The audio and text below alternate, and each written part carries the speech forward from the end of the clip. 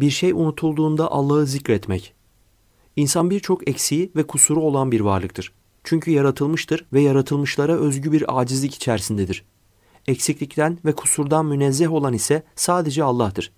İnsanın Allah karşısında ne kadar aciz ve çaresiz bir durumda olduğunu anlayabileceği eksikliklerden bir tanesi de unutkanlıktır. Unutkanlık, bunu yapan kişi dünyanın en zeki insanı bile olsa oluşmasına kesinlikle engel olamadığı bir acizliktir.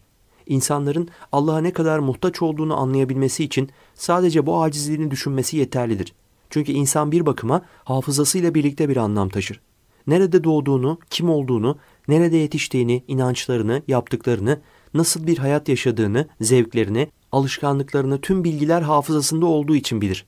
Ancak ağzından çıkan cümlenin sonunu bir anda insana unutturan Allah tek bir anda geçmişiyle ilgili her şeyi de unutturabilir. İnsan kendisine malik olabilmesi için Allah'ın her an hafızasında canlı tuttuğu bilgilere muhtaçtır. Allah onlardan tek bir tane bile eksiltme yaptığında insanın bu bilgiyi geri getirmek için yapacak hiçbir şey yoktur.